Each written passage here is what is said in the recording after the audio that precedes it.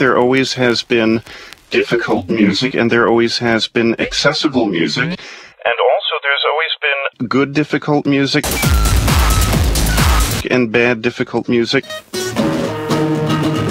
and good accessible music and bad accessible music.